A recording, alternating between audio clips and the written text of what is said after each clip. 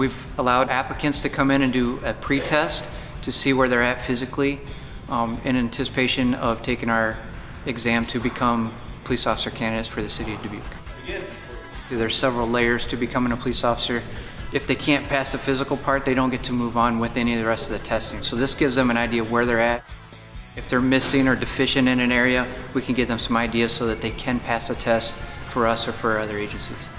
This year we've added that if they pass today, come test time, they can come in with that passing score and just take the written test. Two laps to go. Some of these candidates traveled two or three hours just to come and do this, and that shows us even more, you know, initiative and what these people are all about, that they're taking this seriously and that they're willing to, to come up here and wanting to work with us.